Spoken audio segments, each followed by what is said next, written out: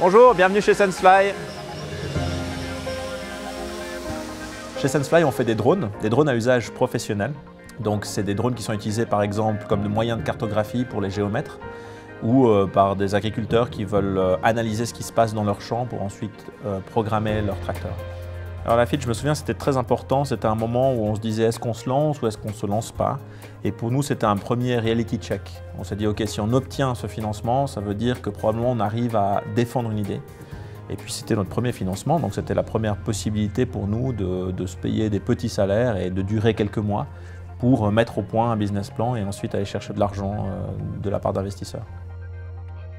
La FIT, euh, c'est la Fondation pour l'innovation euh, technologique. Donc on le voit, c'est à la fois basé sur euh, des connaissances et des développements scientifiques de recherche, mais il y a le mot innovation, donc il faut transformer ça en quelque chose d'utile pour la société ou qui a un potentiel de croissance. Je m'appelle Sandra Souza, bonjour et bienvenue à l'université et au projet Biomi. Je suis microbiologiste ben, ici dans le département de la microbiologie fondamentale à l'Université de Lausanne. Le projet Biomi, euh, ici on va essayer de trouver une solution contre les problèmes intestinaux. Ce qui m'a donné envie de commencer un projet comme Biomi, c'est vraiment d'être euh, son propre chef, d'avoir son propre entreprise ici en Suisse. Quand on voit ces, ces entrepreneurs, du reste qu'ils soient jeunes euh, ou moins jeunes, ce qui touche, c'est la passion, euh, l'envie de faire quelque chose qui soit vraiment euh, différent. Alors quand ils sont très jeunes, c'est changer le monde. Euh, quand ils sont un peu moins jeunes, c'est quand même se dire qu'on peut faire quelque chose qui va vraiment laisser une trace. Bonjour, je m'appelle Nicolas Tomatis et je vous donne la bienvenue chez Bluebotics. Bluebotics a deux activités. D'un côté, on vend des petites boîtes bleues qui automatisent des véhicules, surtout des véhicules pour l'intérieur, pour la logistique, les transpalettes, c'est l'exemple typique. Et de l'autre côté, on a des entreprises à créer de nouvelles applications, des nouveaux produits qui utilisent justement notre produit. La FIT est un outil très intéressant. Quand vous démarrez une entreprise, si vous avez de la chance, vous avez une SA, vous avez 100 000 francs, mais ce n'est pas beaucoup pour créer un produit. Euh, la FIT vous prête de l'argent sans intérêt pour euh, euh, développer une vision. Et là, ça a été pour nous un coup de pouce très important dans cette première phase du développement d'entreprise. Les objectifs des membres fondateurs de la FIT, Essentiellement, c'est simple, permettre à des entreprises de démarrer. Donc, éviter le gaspillage de savoir-faire, parce que nous avions tous une conviction. L'outil de production des postes de travail, c'est l'entreprise. Donc, il fallait fabriquer des entreprises pour soutenir la conjoncture. Bonjour, je m'appelle Yuri Camblon et je vous souhaite la bienvenue chez Sophia Genetics. Sophia Genetics, c'est une révolution. La médecine est en train d'évoluer. Euh, on est dans un monde où de plus en plus de données digitales vont être produites dans le monde de la médecine. Et Sophia Genetics euh, participe à cette révolution. On est dans les hôpitaux à mieux diagnostiquer des patients sur la base de leur code génétique. Alors la FIT a été une belle euh, rencontre hein, lors de nos premiers pas. Nous avions que deux employés, moi-même et un autre cofondateur. Et grâce au premier prêt de la FIT, on a pu euh, recruter notre CTO, Jinyu Xu, qui est certainement euh, un des bioinformaticiens les plus performants au monde. donc ça a été vraiment le démarrage euh, de l'activité de Sophia Genetics et du développement de notre plateforme analytique. Je n'étais pas à la FIT il y a 20 ans quand elle a été créée, mais l'instrument était euh, pensé pour euh, développer un, prototype, donc pour avoir un, élément à, valider avec des clients potentiels. Ces dernières années, ce que l'on voit, c'est que souvent on est déjà dans la phase de validation, mais ce qui manque, c'est un peu tout ce qui va autour pour mieux commercialiser un projet. Bonjour, nous sommes l'équipe Salade. Bienvenue chez Combat Group. Combat Group est une société de nouvelles technologies euh, pour l'agriculture et on développe un nouveau système de production de salade destiné à la production de salade en quatrième gamme, c'est-à-dire en sachet. Alors on a eu deux prêts de la FIT, un de 100 000 francs qui nous a permis de construire notre premier prototype de robot espaceur et un second de 500 000 francs qui nous a permis en fait de finaliser euh, l'équipement de notre serre et de passer de la phase pilote R&D à des premières ventes au consommateur final. Bonjour, je m'appelle Pedro Ados, Je suis cofondateur ici de Nextlink. Bienvenue chez nous.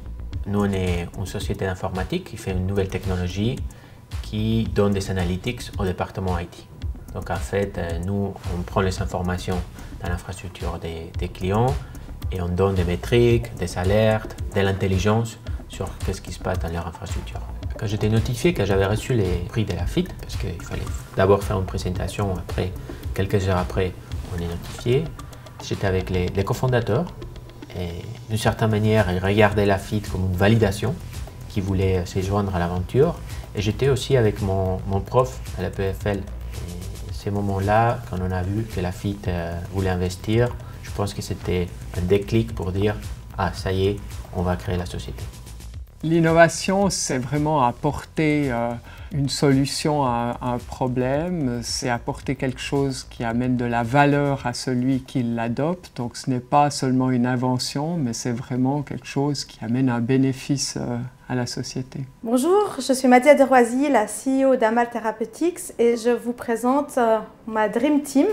La société s'appelle Amal Therapeutics. Amal, ça veut dire espoir en arabe. La société a été fondée en septembre 2012. C'est une spin-off de l'Université de Genève qui a pour mission de développer une nouvelle génération de vaccins thérapeutiques en oncologie. Le soutien à l'entrepreneuriat en Suisse est, je pense, très fort et très présent. Mais ensuite, le soutien à l'entrepreneuriat doit être adapté aux différents domaines. Donc le soutien pour une biotech ne sera pas forcément le même soutien que pour une medtech, pour IT ou ICT. Bienvenue dans nos locaux, vous êtes en ce moment avec moi dans notre laboratoire de biologie. Mon nom est Nicolas Durand, j'ai 33 ans et je suis le fondateur et directeur d'Abionic SA, une start-up issue de l'EPFL qui est active dans le diagnostic médical. Nous avons développé une technologie unique qui nous permet de réaliser du diagnostic rapide, soit en officine ou directement chez le médecin c'est une aventure qui est absolument passionnante. Mais c'est vrai aussi que monter une start-up high-tech euh, chez nous, c'est aussi comme être dans un grand 8. Hein. Les Américains parlent souvent de roller coaster. Euh, vous pouvez, dans la même journée, recevoir deux ou trois excellentes nouvelles. Et puis tout de suite après, vous en recevez trois ou quatre qui sont très mauvaises. Et puis vous rentrez à la maison, et puis votre femme vous demande alors, comment s'est passée la journée? Et puis vous réfléchissez, et puis vous êtes un petit peu en train de faire votre moyenne. Puis vous bah, finalement c'était une journée moyenne. Mais c'est vrai qu'en intensité et puis en, émotion, c'est toujours très chargé. C'est aujourd'hui le plein soleil et c'était hier une nuit drôlement complète. En d'autres termes, je crois que ça a fondamentalement changé. Les appuis se sont non seulement sophistiqués, mais sont devenus plus nombreux. Les États ont mis sur pied, le canton de Vaud notamment, euh, ont mis sur pied des, des programmes d'accompagnement, la Confédération aussi. Donc, au fond, ces, ces outils-là, non seulement de soutien, mais d'accompagnement de l'entreprise, sont incomparablement plus nombreux. Bonjour, ici Nicolas Ablé, bienvenue chez Lemoptics. Je m'appelle Nicolas Ablé, euh, j'étais CTO et cofondateur de Lemoptics, une société qu'on a fondée en 2008 et pour laquelle on a eu la FIT en 2009, qu'on vient de revendre à Intel il y a quelques mois. Qu'il y a pas mal de gens du comité de sélection de la FIT qui sont aussi euh, des coachs CTI qui sont aussi dans l'écosystème financier, investisseurs de toute la région et de toute la Suisse. Donc c'est cet aspect-là qui nous a aidés. À la FIT, euh, son jury, euh, qui est du reste composé de gens qui viennent d'horizons très différents, donc chaque membre du jury a peut-être voit quelque chose d'un petit peu différent, mais quels sont les critères de choix? C'est le caractère innovant d'un projet, c'est surtout la capacité ou la compréhension du marché ou du domaine de la part du, porteur de projet. Il y a aussi des critères de type euh, est-ce que ça crée euh, de la valeur? La valeur pour la région, c'est la création d'emplois. Je suis Raphaël Maillot, cofondateur de NetGuardians. Bienvenue chez NetGuardians. Alors NetGuardian s'est spécialisé dans tout ce qui est prévention de la fraude auprès des institutions financières et euh, de risk management, à développer des logiciels pour justement prévenir des fraudes internes. Je pense que c'est sain de développer euh, une économie basée sur l'entrepreneuriat, particulièrement dans un pays comme la Suisse qui ne dispose pas de ressources naturelles. Donc sans l'innovation, je pense qu'on n'aurait pas une place ou une pérennité comme on a aujourd'hui, une bonne croissance économique en Suisse. Euh, l'entreprise qui n'innove pas, elle a quand même des risques considérables de se planter. Euh, une entreprise qui innove, euh, on, est entouré de ces entreprises-là, elles, vivent, elles survivent, Et ce qui était à l'époque, en tout cas, et ce qu'il est toujours, ce qui est la préoccupation qu'on peut avoir, elles offrent du travail. Aujourd'hui, notre entreprise se trouve dans une phase de croissance. On est passé de 5 à 10 systèmes par année, maintenant on est entre 50 et 100. Et notre but maintenant, c'est de passer à plusieurs centaines par année. On a eu beaucoup de visibilité l'année passée et maintenant on se retrouve avec beaucoup de projets pilotes, de grandes entreprises de leaders au monde qui veulent tester notre système. Et notre but, c'est de transformer ces projets pilotes en clients le plus vite possible. Ben, on a déjà un grand projet d'avenir. Ce sera l'entrée avec les premiers essais cliniques chez l'homme en 2017. Et après, on verra. Alors les projets, c'est de pouvoir continuer la croissance de la société. C'est pour ça qu'aujourd'hui, on a, créé plusieurs bureaux à l'international.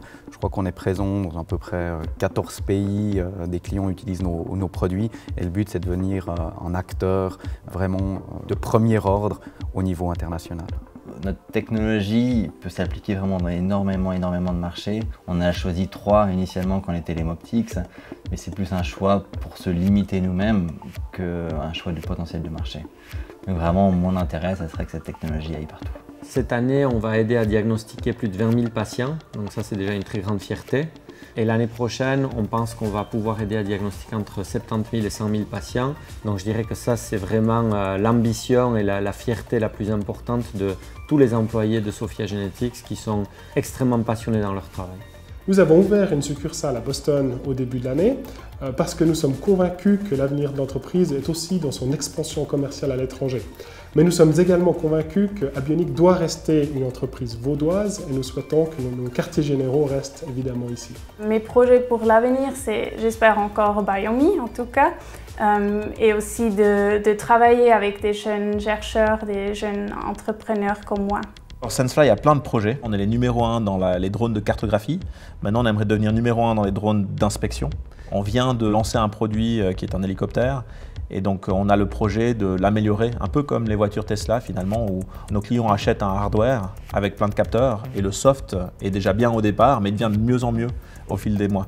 Alors, nos projets d'avenir pour la société sont déjà devenir rentables et ensuite pouvoir euh, croître à travers le monde pour pouvoir permettre à tous les pays de produire mieux la salade et puis peut-être plus tard d'autres types de végétaux. Ça nous occupera déjà les dix prochaines années. Les projets pour l'avenir, c'est vraiment développer des nouveaux produits, plutôt dans les domaines mobile et cloud, et aussi évidemment attaquer des nouveaux marchés de manière on va dire un peu plus agressive. Et nous, on a beaucoup d'espoir par rapport, c'est ce qu'on peut faire, la technologie Nexting peut faire dans les marchés américains. On me demande souvent euh, quels sont les conseils. Je dis que peut-être que si j'avais les réponses, euh, je serais moi-même euh, à la tête d'une unicorn, hein, d'une licorne, comme on dit, ces sociétés qui valent passer le milliard. Non, je crois qu'il faut être sérieux, c'est de se dire qu'il faut être à l'écoute du marché, aller très vite voir des clients, parce que finalement, la réponse de est-ce que ce que je fais est utile, c'est de savoir si la personne en face a envie d'en savoir plus ou si elle vous claque la porte. Donc oui, on peut être très bon dans son produit, parfait point de vue technologique, mais à la fin, il n'y a qu'une chose qui compte, c'est est-ce qu'on arrive à faire une vente.